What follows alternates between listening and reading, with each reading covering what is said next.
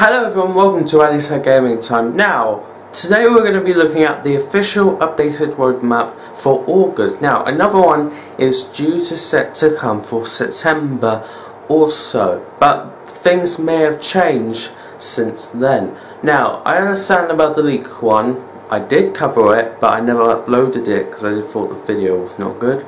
But now, considering the official one is here, let's get into this. But first, here's the intro.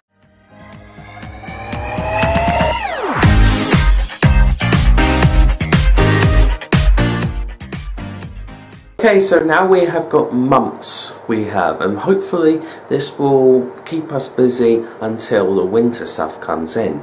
Okay, let's start off with September. So in September, we're going to be getting some new clone uh, trooper appearances. We will be the wolf pack and the mobile recognition, and then also in game improvements, we've got the squad system. Now, from what I've heard about this, is that I've been told that one, it may be something like from Battlefront 2015 or maybe something from Battlefield 1 which if so then the thing is is that not everyone wants to play with a partner not everyone will want to do this and that. So hopefully they'll have the option where you can where you where it's like before the game improvement starts but again it'll be interesting to see how it goes and then in October for Heroes, we have got General Grievous and an appearance.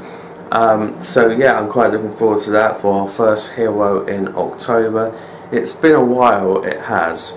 And then in November for Heroes, we're going Obi-Wan Kenobi with two appearances. Locations, uh, Galactic Assault. Oh my god.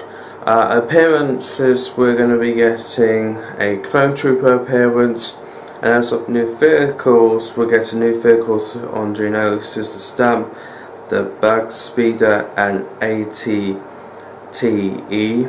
Sorry.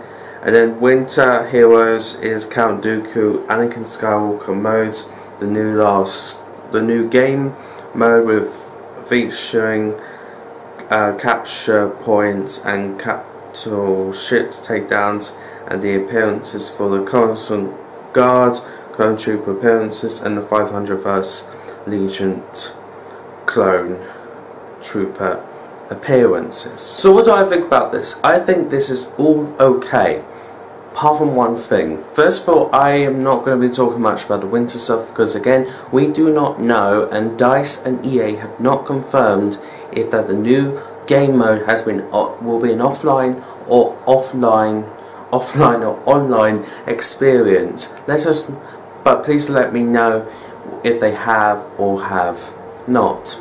But I will say this, for Geonosis, I hope that they do make a map for the other modes such as Arcade Blast, Strike, the new game mode, um, Starfighter Assault, all of those ones because again it would be such a shame that they would make one map spend all this months and time on just one thing and then just add it to Galactic Assault. Because again it beats it out like you don't care about the offline players. Like look as I'm filming this the recent update has been out and a new location from Naboo is in Custom Arcade. It's where it's the um, Palace Hole hangar I think it is so, uh, look, I know that DICE surprise us every now and then they do, like, Kessel is also on arcade, so I bet Geonosis one day will come to arcade. Um, I suggest people start asking about it, and when we eventually know if it is or is not coming, then let's be a bit of an uproar about it, because when we do that, they listen, and then eventually maybe they will do what we want to do. Said that there would be multiple map, multiple levels of Geonosis there will be. So, I don't know. Anyway, thank you guys so much for watching, and I will see you all on the next one. Peace guys, see ya.